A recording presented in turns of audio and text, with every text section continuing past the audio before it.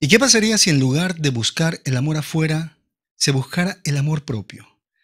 ¿Qué pasaría si en lugar de estar intentando amar a la otra persona, comenzáramos a amarnos nosotros mismos? Esta noche, ¿cómo amarse a uno mismo desde los estudios de Fernando Leiva en Lima para todo el mundo? Esto es Noche de Psicoterapia. ¡Comencemos!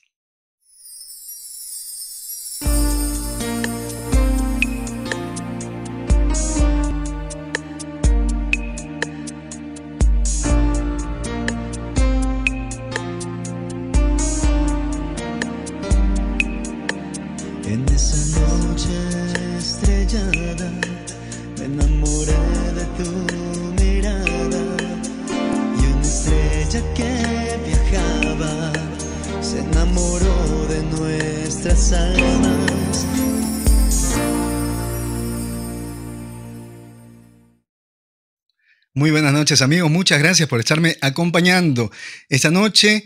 Una emisión muy bonita, muy interesante. Vamos a hablar acerca de cómo amarse a uno mismo. Un tema, un tema que se menciona constantemente, eh, tal vez con un tinte un tanto romántico, un tanto fantasioso, un tanto caprichoso. Porque hemos visto eh, por muchos lugares hablar de, ese amor propio, esas técnicas para amarse a uno mismo que lindan por ahí con el egoísmo, eh, tal vez eh, con un tanto de narcisismo y no es así.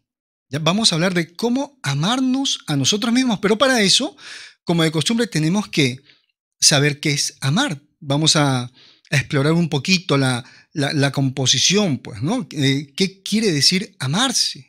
¿De dónde proviene esa palabra amar que tantas veces hemos comentado? De un vocablo en latín que probablemente refiere a las palabras de, a las primeras palabras de los niños, ¿no?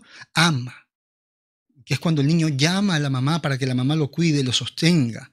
Entonces, amar sería cuidar. Amar sería acariciar, ¿no? A eso se refiere esa palabra, caricias de mamá, el cuidado de mamá. Entonces, cuando amamos, Estamos cuidando, estamos acariciando como una madre lo hace con sus hijos. Entonces, ¿qué cosa sería amarse a uno mismo? Brindarse ese cuidado, esa protección y autorrealizarse en el tiempo. Pero para eso también nos enfocamos en este término amor. El amor es una motivación, una motivación que parte de razones. Es decir, para poderme amar, tengo que encontrar razones. Porque de lo contrario, voy a estar divagando en el tiempo y cualquier persona me va a hacer dudar de mi amor propio. Entonces, qué interesante.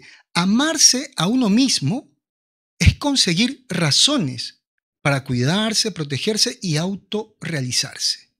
Y derrotar de esa manera a un falso yo, a una falsa autoestima, a un falso amor propio que muchas veces nos lleva a escapar de, la realidad. Pues, ¿Y qué es el causante? El falso amor propio es el causante de muchas patologías.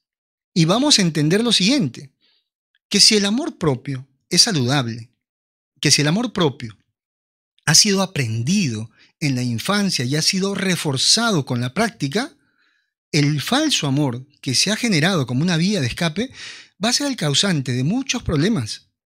Problemas de personalidad y vamos a ver qué patologías por ahí están vinculadas a esa ausencia de amor propio, pero sí vinculadas a qué? A ese falso amor propio. Ahora, el amor propio es reconocer a los demás como sujetos y declararse individuo. Cuando nacemos, nacemos egocéntricos, ¿no? En la infancia todo niño egocéntrico es el único sujeto y pretende que todo gire a su alrededor. Pero cuando el niño ha sido alimentado, ha sido llenado por todo aquello que los cuidadores debieron darle, no solamente el alimento, sino también eh, aquella carga afectiva, ese niño va a soltar a los objetos que son las demás personas y los va a considerar sujetos. Pero en ese momento también, a través de ese amor, que le sembraron, ese amor que depositaron en él, aparece ese amor propio y ese niño ya es un individuo, es decir, es indivisible. Ya está lleno, ya está completo y no se puede dividir, por eso es un individuo. Ya no está buscando su media naranja. Por eso siempre hemos dicho ¿no? que una falta de amor propio, estar incompletos en nuestro amor, es andar por el mundo buscando la media naranja. Pero también hay que reconocer lo siguiente, que el amor propio no es irreverente.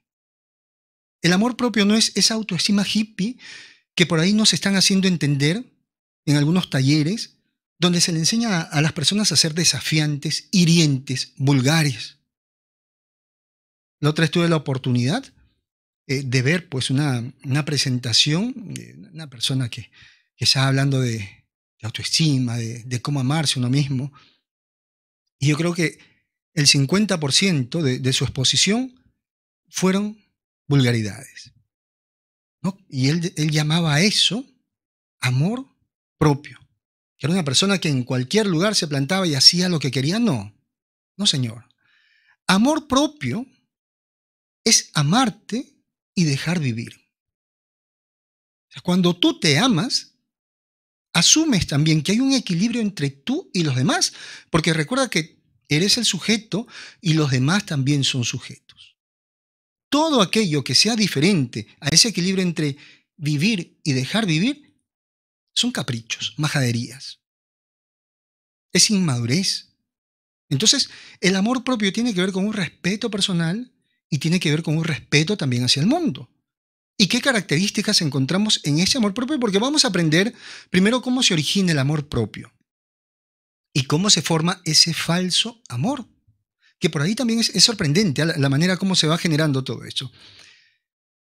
Cuando una persona se ama, es una persona que sabe quién es, es decir, ya no anda por el mundo sintiéndose bien porque la pareja le dijo que estaba bonita, porque los amigos, porque el mundo le dice que es inteligente, que es valioso, no, tiene conciencia, sabe que existe, sabe que es.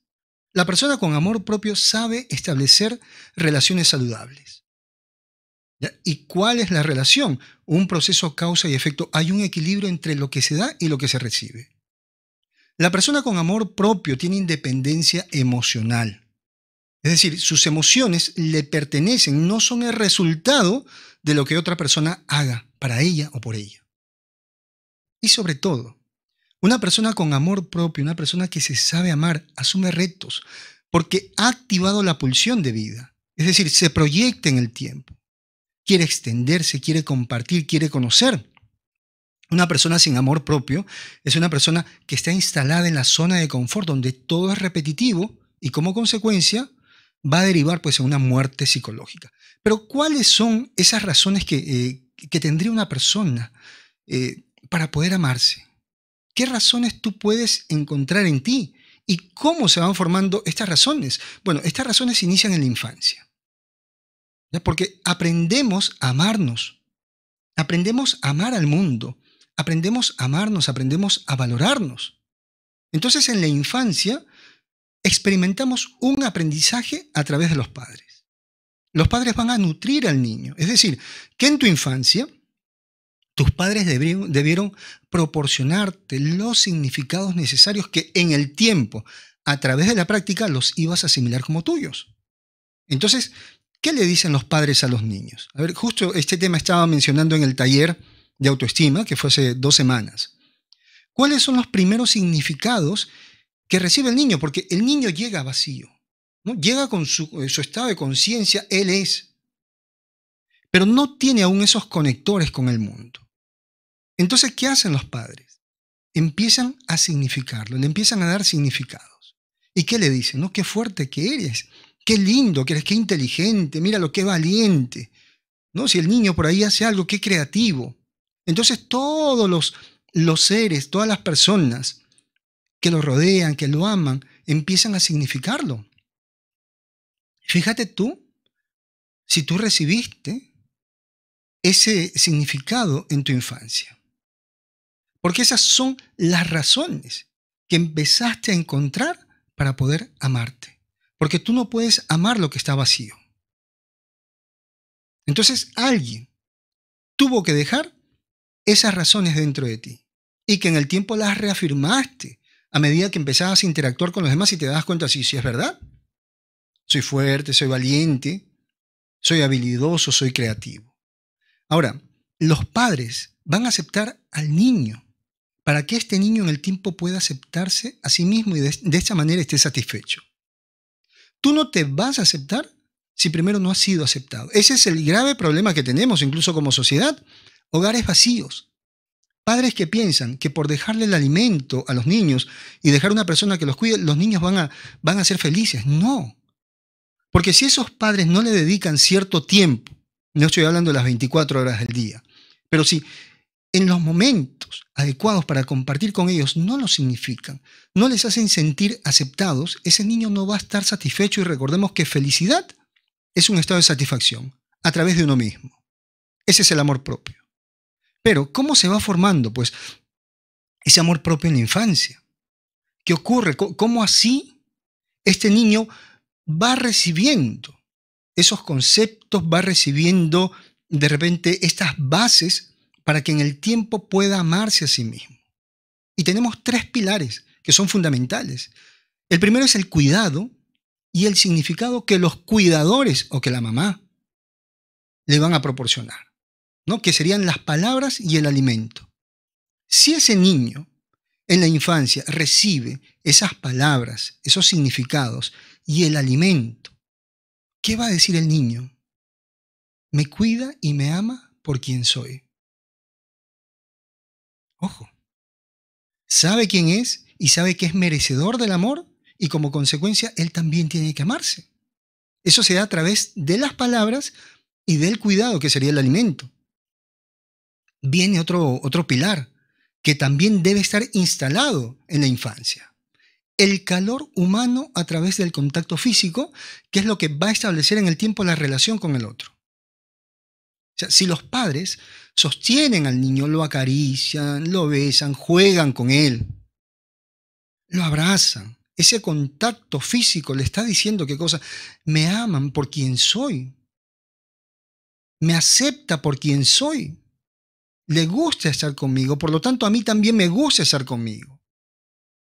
Y el otro pilar que también es importante es cuando los padres, el cuidador, la cuidadora, le muestra el mundo y la conexión que él debe tener con el mundo. Entonces, el cuidador o la cuidadora, que sería la mamá o el papá, la abuelita, los tíos, quien, quien esté a cargo de este niño, le va presentando el mundo. Sobre todo, ¿qué le presentas tú a tus hijos en casa? Porque para el niño, el primer mundo que encuentra es su hogar. Ahora, pero si en ese hogar hay discusiones, si en ese hogar los padres están que se insultan, son personas frías, ¿qué mundo le entregas a tus hijos? ¿Qué mundo te entregaron a ti si creciste en un, en un hogar altamente conflictivo? Porque cuando todo, todo está bien para el niño, el niño dice, el mundo me acepta como soy. Y aprende primero a relacionarse con los objetos y luego con los sujetos. Pero cuando esto, cuando esto no se da, el niño se va a preguntar, entonces, ¿cómo voy a existir en el mundo cuando no puedo confiar en el otro, porque no sé quién soy. Si a ti no te contaron quién eras, no vas a saber quién eres. Si a ti no te amaron, no vas a poder amarte. Entonces vamos a ir un poquito más allá, porque si eso no ocurrió en tu vida, si tú no tuviste la posibilidad de, recibir ese amor, vas a generar ese amor propio. Pero para eso también hay que renunciar. Sí, hay un requisito. Hay que renunciar para poder llenarse en todo proceso, incluso de, eh, de, recuperación, el contacto cero no es otra cosa que vaciarse, la renuncia, todo, para luego poder llenarse, para luego poder construir. Si tú has sido víctima de una relación, pues donde de repente te han maltratado, tienes que vaciar todo eso para poderte llenar. Si tú has tenido un falso amor, has creado un falso amor, ¿qué necesitas? Vaciar ese falso amor.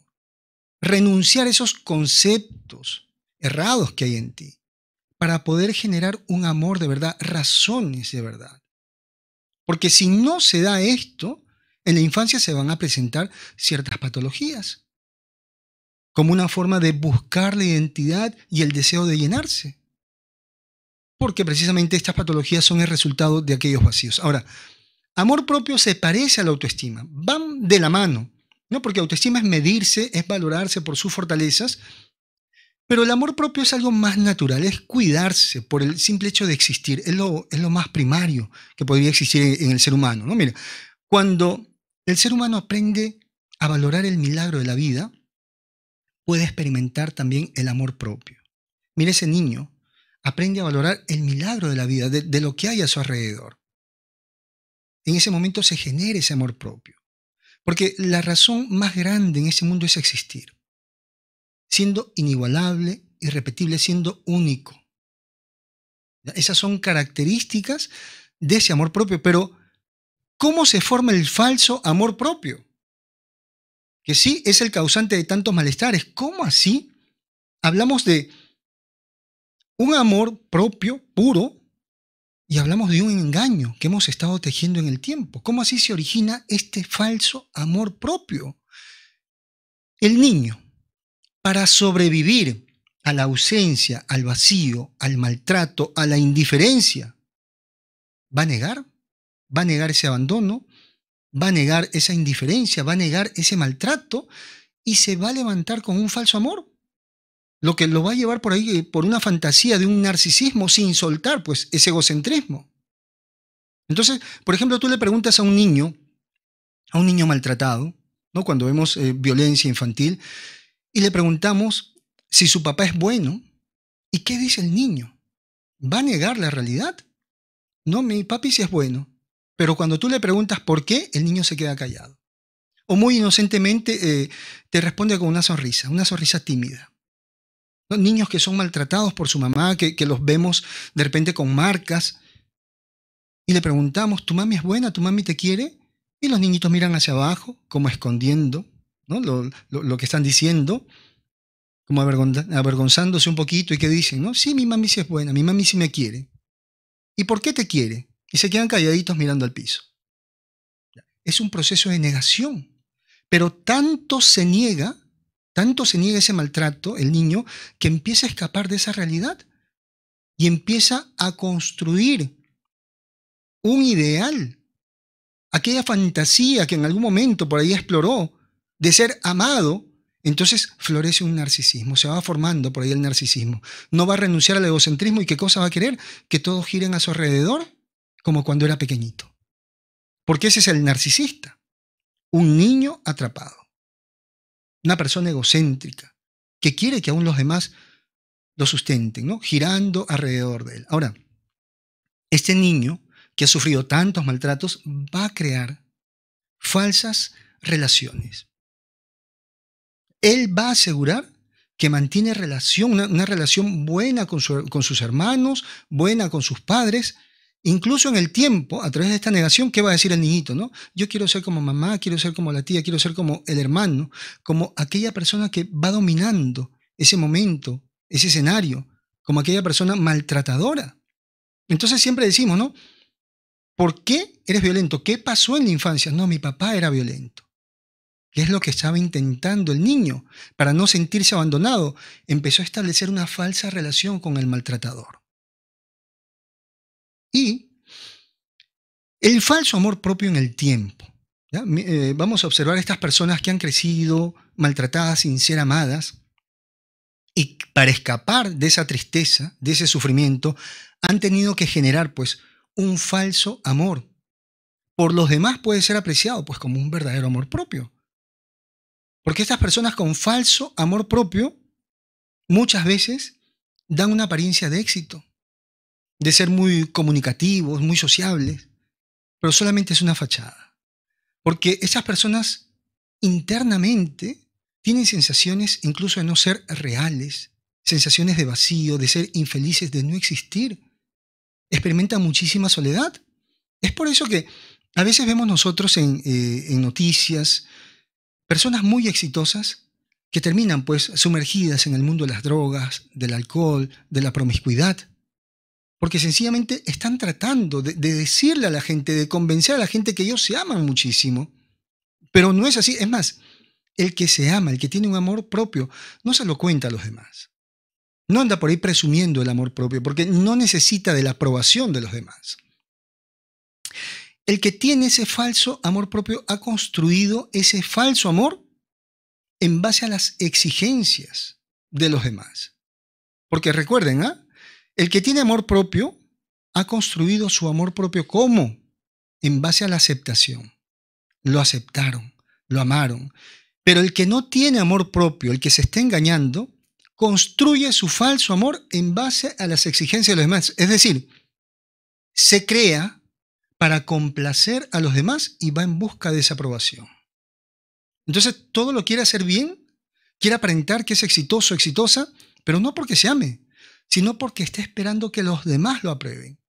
Y eso es una trampa, porque para complacer a todo el mundo cada día hay que hacer más cosas. Entonces, esa persona en el tiempo vive un estrés tremendo, es una persona que, llega a experimentar graves estados de ansiedad.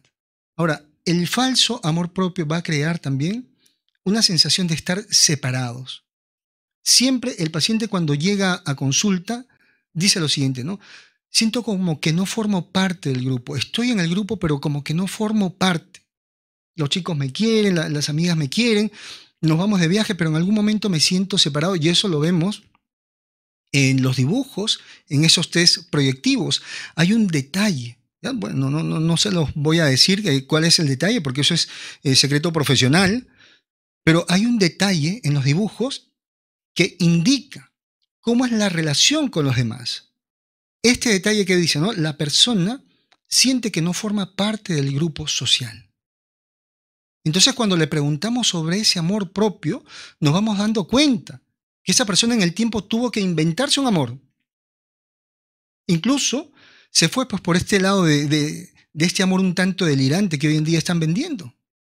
Porque ¿qué te venden los de esa cultura egocéntrica, narcisista que han salido por montones? Que tienes que amarte como si fuera un acto delirante. Repetirte todo el día que te amas, pero escúchame bien. Tú no te puedes amar sin fundamento.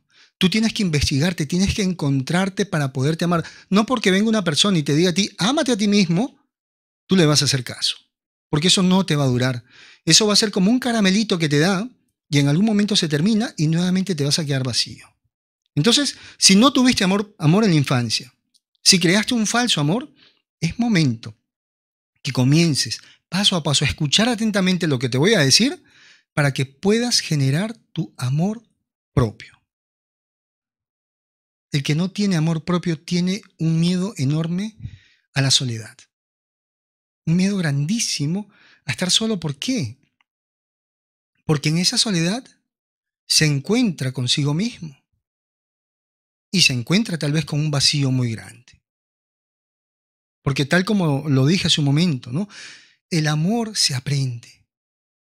La persona que ama es porque ha sido amado. Aquella persona que se sabe amar es porque ha sido amada. El que no ha sido amado no va a poder entregar amor. Bien lo decía pues este filósofo Parménides, el ser es cuando es. O sea, siempre hay algo previo. Para que exista hay algo previo, debe existir algo previo.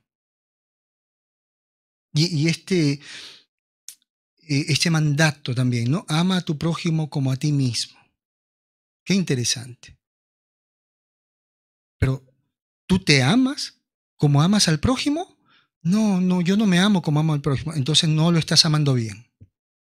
Si el prójimo es tu hijo, pregúntate, ¿tú te amas? ¿Te amas bien? ¿Tanto como lo amas? No, entonces no lo estás amando bien. Le estás entregando una mentira.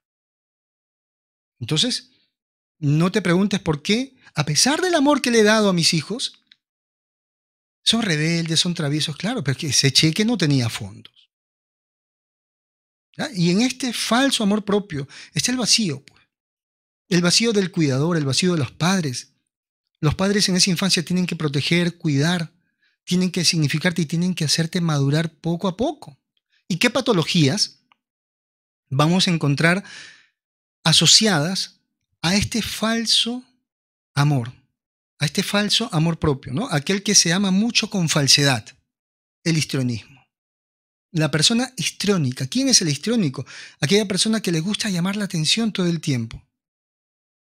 Que levanta la voz, que eh, incluso hay, una parte eh, dentro de los manuales que dice que el histriónico incluso en algún momento va a tratar de llamar la atención a través de la sexualidad, a través de la sensualidad. ¿Ah? Se va a mostrar un tanto provocador. La cosa es llamar la atención. ¿Por qué?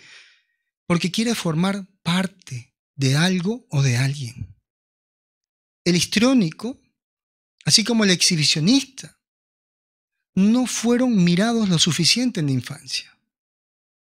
Porque el niño, la criatura, ¿qué dice en la infancia? Mami mira, papi mira. ¿Y qué hacen los padres al mirarlo? Oh, qué bien te quedó, qué bonito, qué inteligente. Hay padres indiferentes. Hay padres que le dicen, por favor, estoy ocupado, anda a hacer tu cosa, vete a tu cuarto una vez. Ese niño no fue mirado lo suficiente. No está satisfecho. Lo que no está satisfecho genera una fijación, un deseo de completarlo en el tiempo, en la etapa adulta. Entonces, una manera de llenar ese vacío del no haber sido mirado por sus padres es a través del histrionismo o del exhibicionismo. ¿No? Cuando vemos un exhibicionista, una persona que se desnuda, que muestra sus genitales, la pregunta es, ¿quién no te miró en la infancia? Que ahora estás tratando de, llamar la atención. ¿Quién, ¿Quién no te miró y quién no te amó lo suficiente? Que ahora estás tratando de llamar la atención. El narcisista. ¿Qué pasa con el narcisista? ¿Qué ocurre con esta persona que quiere que todos giren a su alrededor? Sigue siendo el niño. El narcisista tiene un falso amor, así como el histrónico. Es un falso amor propio que hace qué cosa? Que prácticamente obliga a los demás a girar a su alrededor. Se encapricha. ¿Y cómo reniega cuando los demás no llegan a complacerlo? Porque en el fondo el narcisista está ciego. El narcisista no puede ver su grandeza. Necesita que los demás sean como espejos para él poder mirarse. Ah, sí es verdad que soy inteligente. Ah, sí es verdad que soy guapo. La psicopatía. ¿No? Hay una parte orgánica en los psicópatas, pero también hay traumas, hay heridas, que hace que este niño desde la infancia aplane sus emociones. ¿Y qué ocurre? Pues con, el psicópata, con, el estilo psicopático. Esos objetos, es decir, los cuidadores, no le permitieron entrar al afecto de ellos. Entonces en el tiempo va a intentar parasitar a los demás, va a intentar obtener algo de los demás. El limítrofe, ¿no? En ese falso amor propio.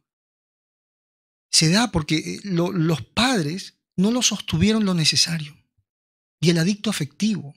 ¿no? El adicto afectivo, el evitativo especialmente, que tiene un falso amor propio, que demuestra evitar a los demás. No, no me involucro mucho en la relación de pareja, se ve así muy distante. Pero ¿qué es lo que ocurre con esta persona? Toma esa actitud porque tiene miedo al abandono. Él prefiere cuidarse así, darse un tanto de importancia en la relación. ¿Por qué? Porque ese abandono intermitente en la infancia por parte de sus cuidadores generaron en él un apego ansioso. Entonces, Muchas de estas patologías están relacionadas a ese egocentrismo. Están relacionadas a esos vacíos, la anorexia, la bulimia. hay estudios que, que durante muchísimo tiempo indican que la anorexia, la bulimia está relacionada a estos vacíos en la infancia. Que los cuidadores no los llenaron lo suficiente. Y sobre todo no les enseñaron a adquirir el sustento. Entonces no saben cómo alimentar, están peleados con ese eh, sustento afectivo que se simboliza pues a través del alimento. Entonces, esta persona con falso amor propio es una persona también autodestructiva. A pesar de que por ahí demuestra superioridad, demuestra mucha seguridad, es una persona cuyas decisiones siempre lo encaminan al sufrimiento, toma malas decisiones, relaciones disfuncionales, consumo de alcohol en exceso, de drogas. Entonces sí se encuentra la carencia del amor propio relacionada a muchos problemas. Amigos, ese consultorio, mi consultorio es tu consultorio, es nuestro consultorio, ese espacio diseñado para que puedas trabajar aquellos problemas que te impiden alcanzar esa paz interior. Déjate guiar por el conocimiento científico de la psicología. Pide tu sesión de consejería psicológica a través del más 51 9957 22178. La atención por el momento es online, es a distancia, así que todo lo estamos haciendo de esa manera para cuidarte y para cuidar también a mi equipo. Toma nota, por favor.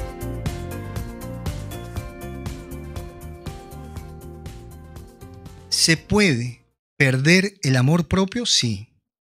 Si tú has podido nacer en un hogar donde te dieron ese sustento afectivo, te alimentaron, eh, te acariciaron, te dieron ese calor humano, ese contacto físico, te mostraron el mundo, el ambiente que te rodeaba era bueno. Es decir, te enseñaron a amarte. A través de la práctica en ese hogar, aprendiste a amarte, generaste tu amor propio. Pero apareció alguien en tu vida, alguien con mucha fuerza de manipular y te quitó, fracturó ese amor propio. Por ejemplo, la relación con los psicópatas y esta técnica que utilizan que se llama el gaslighting. ¿Qué pasa con esta técnica? A través de la crítica constante, a través de culparte constantemente, tú llegas a creer que es cierto lo que ellos dicen. Gaslighting viene de una obra, eh, este término de una obra teatral, donde el esposo todo el tiempo le decía, eh, el, actor principal, el personaje principal todo el tiempo le decía a la, a la esposa que estaba mal, que era loca. Y la esposa tanto escuchaba que al final creyó que era cierto lo que le decía el esposo y llegó a tener este tipo de comportamiento. Entonces, cuando tú estás en una relación de pareja donde todo el tiempo te dicen que eres tonto, que eres tonta, que eres bueno para nada, que hay mejores personas que tú, cuando te dicen, no, es que mis ex fueron mejores que tú. Yo tuve un ex o tuve una ex que era más inteligente, más bonita o más bonito. Te están aplicando también este gaslighting. Cuando con cinismo te culpan por algo que ellos han hecho. Tú fuiste la causante de que yo salga con otra persona, porque tú me descuidaste. Tanto te lo repiten que tú llegas a asumir e-, esa culpa. Ese es el gaslighting. Es como una nube luminosa que te encandila, que no puedes ver. Entonces te dejan ciego ciego de tu estado de conciencia. Y como no puedes ver tu realidad, ya no puedes conectar con tus razones, con tu verdad, la voz del psicópata, del manipulador, se convierte en tu guía y a partir de ese momento, para todo vas a decir, sí, mi amor, sí, mi amor, sí, mi amor. Ahora, cuando estas personas, eh, el manipulador, el psicópata, que es un gran manipulador, borra a través de su ataque ese amor propio. También en el tiempo hemos encontrado por ahí un trastorno que se llama prosopagnosia. Víctimas, por ejemplo, eh, personas que desde niños les han atacado con crueldad de repente. Se separaban y les tocaba vivir ¿no? Ahora con el padrastro, con la madrastra. Miren esto, ¿ah? y especialmente se daba en generaciones pasadas, donde eh, se le daban pues, eh, ciertos nombres hasta despectivos a los hijos de la el hijastro, ¿no? así con el hijo político. Oye, es tu hijo y punto. Te casaste, te casaste con esa persona, también es tu hijo. Pero ¿qué pasaba? Estos niños y niñas eran sometidos a tanto maltrato que en el tiempo experimentaban una prosopagnosia. Se borraba su amor propio, pero también qué cosas se, se borraba en ellos. La noción de los rostros en su cabecita, en su mente. La prosopagnosia es lo que se llama ceguera de rostros. Es la incapacidad para reconocer rostros. Miren este trastorno tan curioso. ¿ah? Por ejemplo, esta persona ha bloqueado desde niño, desde niño, ha bloqueado tanto recordar ¿no? Eh, recordar a su mamá, a su papá, o tanto la han lastimado a sí misma que borra su imagen. Y de repente tú le muestras entre varias fotos, porque estas son las pruebas que se hacen para ver si realmente esta persona padece prosopagnosia. Entre varias fotos le muestran su fotografía y le dicen, ¿cuál de ellos eres tú? Y no se puede reconocer.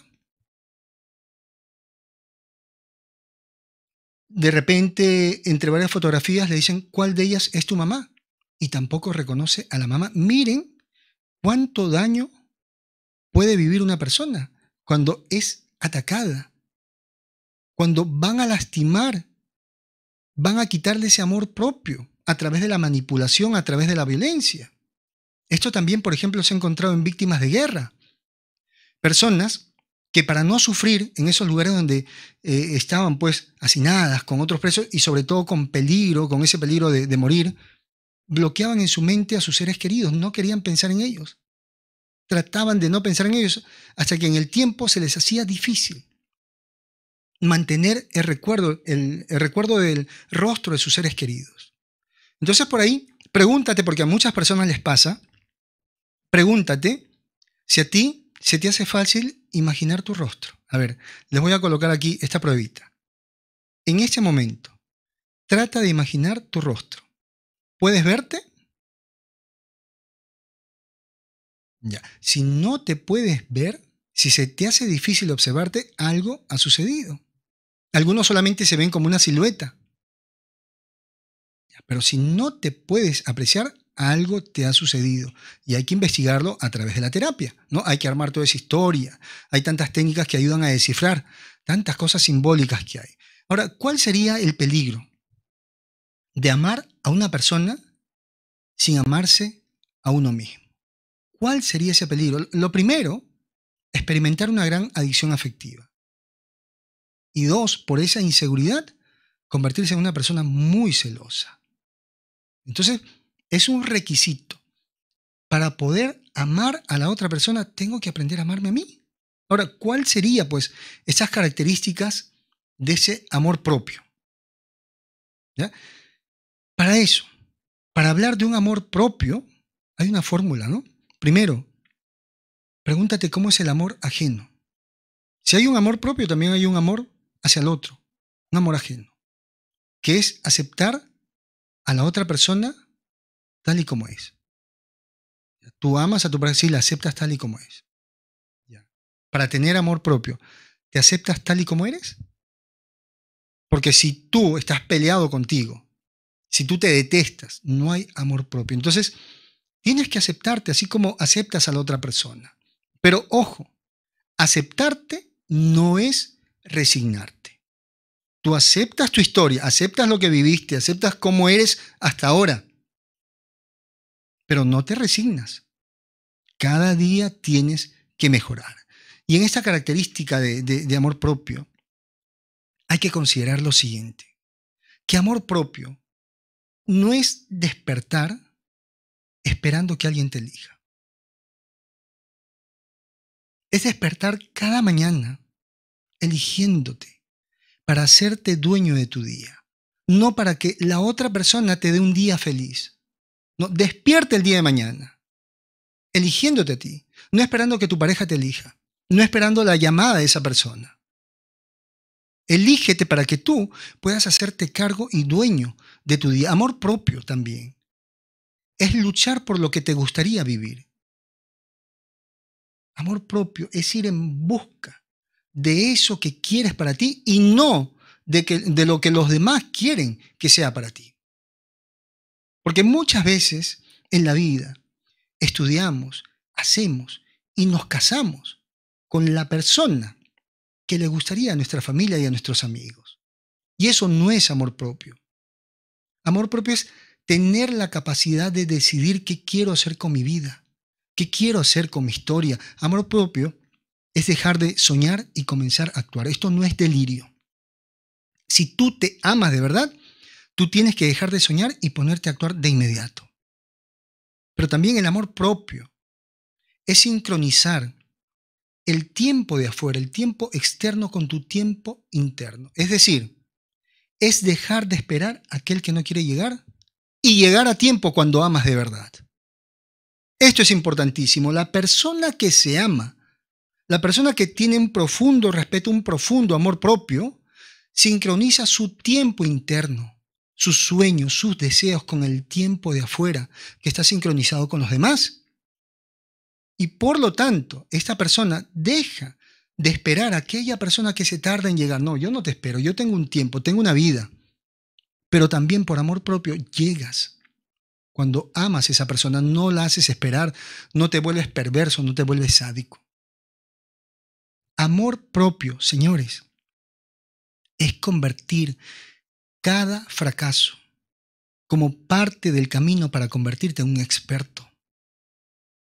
Porque abandonar tus proyectos, abandonarte a ti a mitad del camino no es amor propio.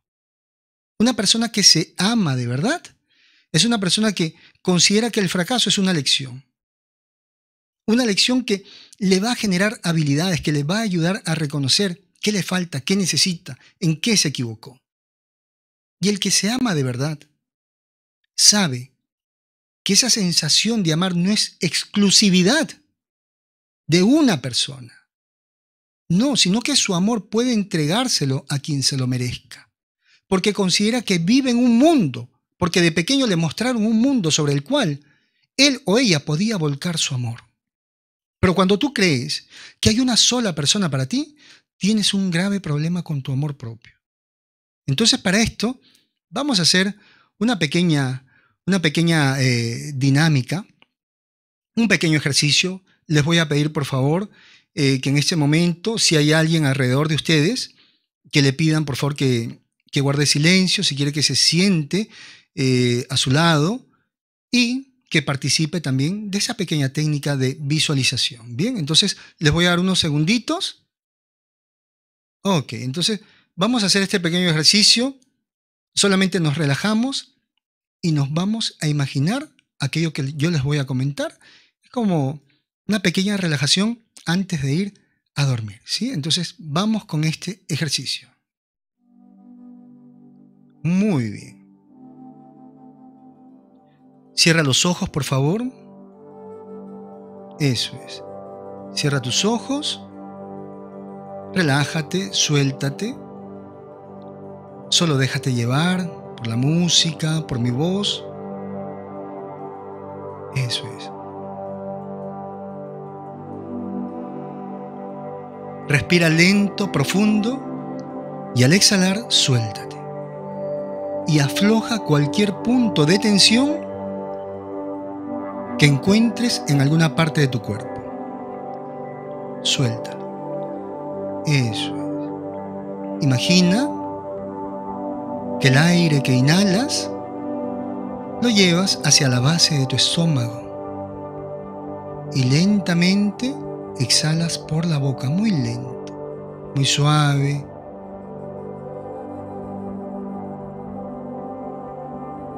Continúa así por un momento soltándote, relajándote.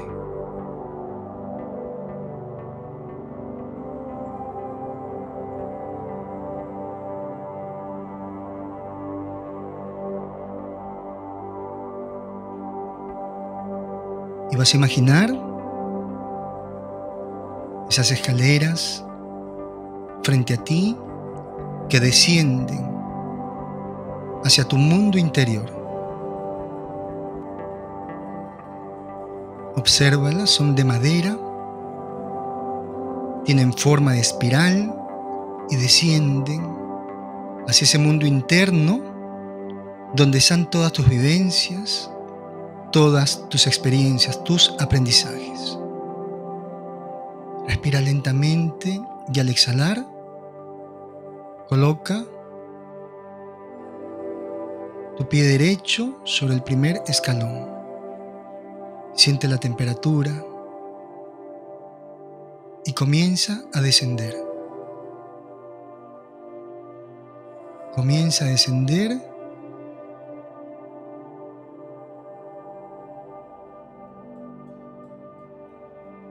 Siente el contacto de tus pies con cada escalón. Siéntelo.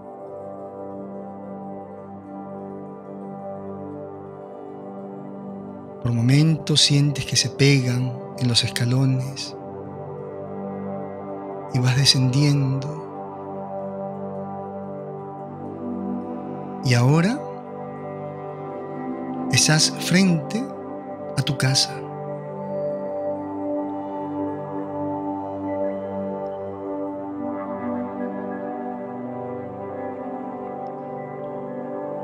Quiero que mires por fuera tu casa. Y ahora quiero que ingreses y que te fijes que la casa está vacía, no hay nadie. Y empiezas a caminar por ese lugar. Y en una de esas habitaciones, te das cuenta que te encuentras ahí sentadito, muy solo, muy sola, mirando al piso, con esa sensación de vacío que siempre has sentido. Puedes observarte sentado en esa cama, muy solo, muy triste. Tal vez acabas de terminar una relación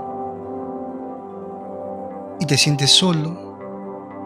O tal vez te encuentras en una relación de pareja donde te sientes muy solo. Tal vez la compañía de esa persona te hace sentir sola, solo.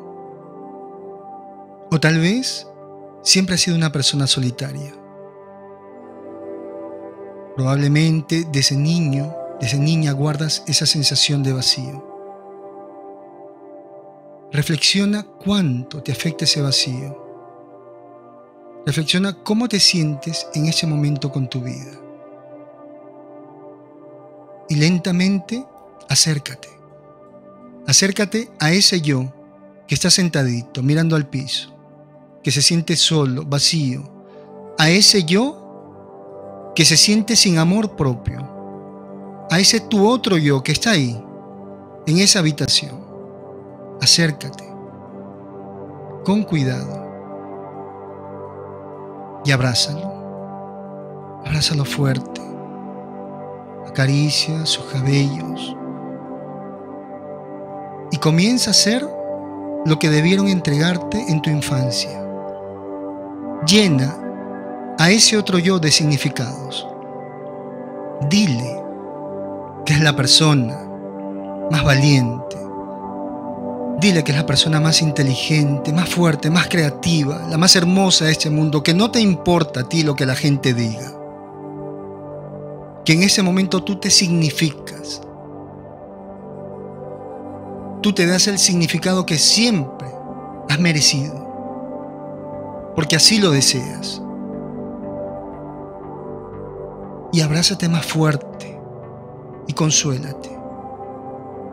Comienza a decirte que está bien a veces sentirnos mal, pero que tú eres una persona muy fuerte y que no necesitas a nadie porque te tienes a ti mismo y comienza a acariciarte, comienza a acariciar tu rostro para que no esperes las caricias de nadie más, para que no esperes los abrazos de la otra persona, para que no esperes sus manos, sus palabras, llénate llénate de ti. Y también cuéntale a ese otro yo, a tu otro yo que está ahí sentadito. Cuéntale de ese mundo que conoces y dile que lo vas a sacar en ese momento de esa soledad, de esa habitación donde se siente tan solo y que lo vas a llevar a disfrutar de este mundo. Que ahora tú te eliges para ser feliz. Abraza tan fuerte a tu otro yo que ahora está dentro de ti. Siéntete completo, como un individuo completo que no se va a dividir nunca más. Y sal lentamente de esa casa. Nuevamente observa desde afuera y perdona lo que tengas que perdonar en ese hogar. Perdona esa historia de abandono. Tal vez el abandono de tus padres o el abandono de tu pareja, pero perdona aquella historia que te tocó vivir.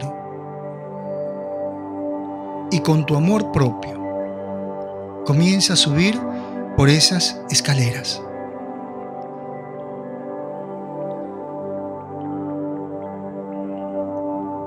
Repitiéndote, me amo porque soy completo me amo porque encuentro razones suficientes para cuidarme, para protegerme, para autorrealizarme. Me amo porque soy único e irrepetible y estoy en paz conmigo mismo y con mi mundo. Cuando digas 5, vas a respirar profundo. Y al exhalar, vas a abrir lentamente tus ojos. 1, 2, 3, 4, 5. Inhala profundo y al exhalar, suéltate. Y abre tus ojitos. Bienvenido, bienvenida. Eso es. Eso es. Lentamente. Lentamente. Estírate un poquito, estírate un poquito. Eso es. Eso es muy bien, muy bien. Qué bonita experiencia, qué bonita experiencia. Espero que les haya gustado.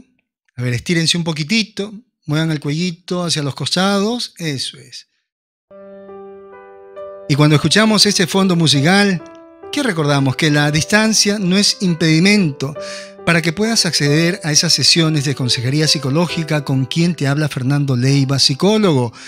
Pide tu sesión, no importa dónde estés, no importa en qué parte del mundo te encuentres. A través de la tecnología podemos conectarnos y poder dar solución a ese problema que no te deja experimentar tu paz y tu salud mental.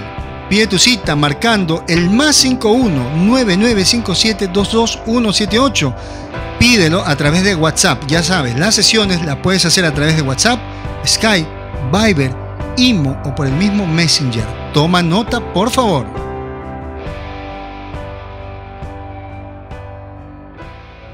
Vamos a ir entonces eh, con algunos consejos para poder crear este amor propio. ¿Qué más podemos hacer para aprender a amarnos, para continuar también con el mantenimiento de este amor personal, de este amor propio. Primero, asume la responsabilidad de tu vida y escapa de esa manía, de esa costumbre de la victimización, porque las víctimas están condenadas a perder. Asume la responsabilidad. Sí, esa persona te lastimó. Lo entiendo. Esa persona fue dura contigo. Lo entiendo. Pero tienes que escapar de ese pasado. Perdona, perdona lo que tengas que perdonar. Pero ese perdón no es un favor hacia la otra persona. Ese perdón es dignificarte, es reconocer, mira, a pesar de lo que tú hiciste, tu acto cruel no es más grande que yo. Por lo tanto, yo no soy tu víctima. Yo soy mi héroe, mi heroína en esa historia que me ha tocado vivir. Y por lo tanto, voy a ganar. Pero si tú le das la responsabilidad de tu vida, a la otra persona, créeme que la única que va a ganar es la otra persona. Punto número dos. No busques encajar en el mundo de afuera sin antes haberte aceptado, sin antes haberte valorado, sin antes haber encajado contigo mismo. O sea, no formes un show tratando de ser la persona cinco estrellas afuera para cuando estás solo, eres alguien muy solitario. Primero aprende a convivir contigo. No aceptes la mediocridad en tu vida, por favor. Si tú te amas, no puedes vivir de manera mediocre. Porque los mediocres todo lo reciben a medias. Trabaja completo, duerme completo, ama completo, disfruta completo para que dejes de obtener las cosas a medias. Si tú no trabajas completo, te van a pagar a medias. Si tú no te amas por completo, te vas a valorar a medias. Si tú no te amas por completo, vas a entregar un amor a medias y por lo tanto te van a corresponder a medias. No te quejes después. Deja de compararte. Deja de compararte porque nadie en este mundo es más que tú ni menos que tú. Tú eres único y punto. Pero si quieres ser especial, tienes que empezar a pulirte, tienes que comenzar a invertir en ti. Aprende, por favor, aprende a ser feliz estando solo. Porque eso va a eliminar el miedo al abandono. Imagínate que alguien en algún momento te diga, bueno, entonces me voy de la casa. Ah, ¿cómo no? Tiene las puertas abiertas. Fue un placer. Oye, eso es impactante. Porque nunca más te van a amenazar con el abandono. Pero por otro lado, lo dices con esa confianza porque sí, me gustaba estar contigo, pero resulta que estando solo también la pasó bien. Entonces aprende a disfrutarte en esa soledad. Aprende a pasar momentos a solas, sé creativo. Si estás solo y te aburres es porque no has madurado lo suficiente.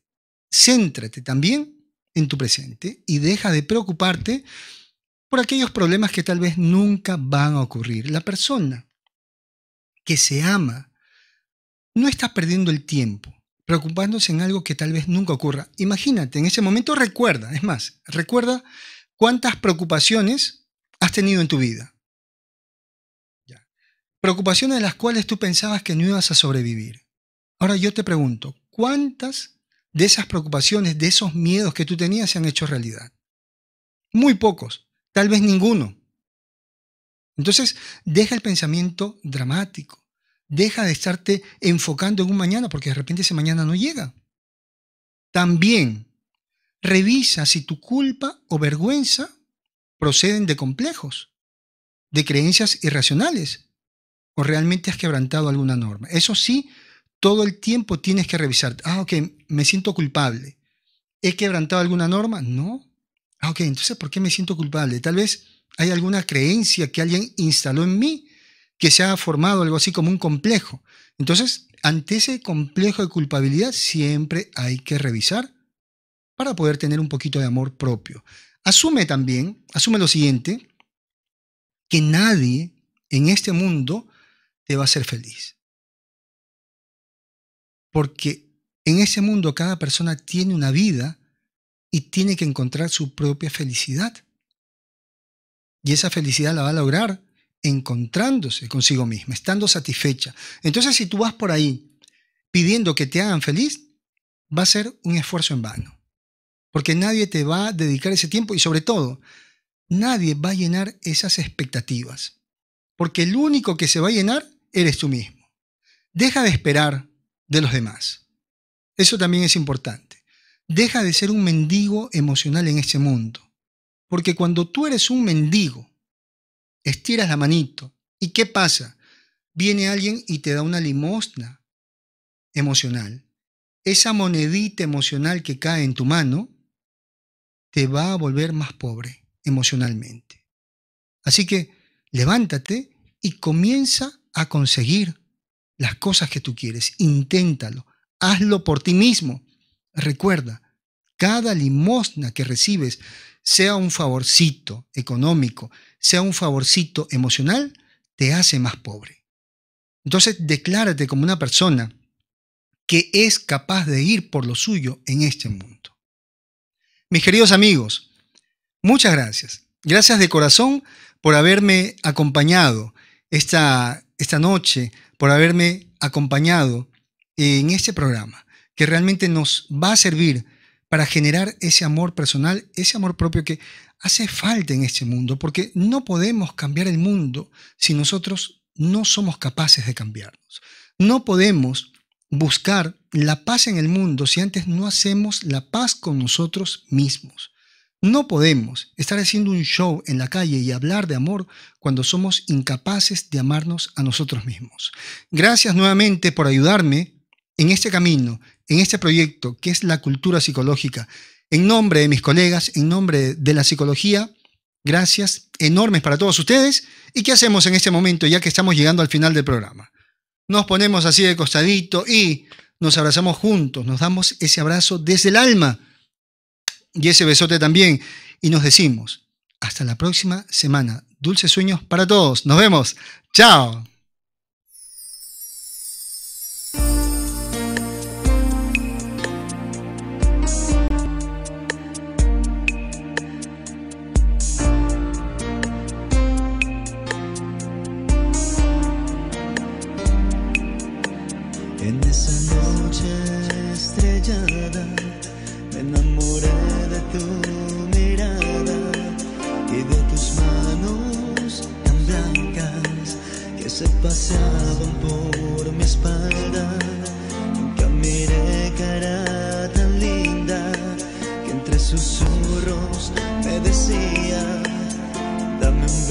des el alma que me haga sentir la calma. Y aunque pasen muchos años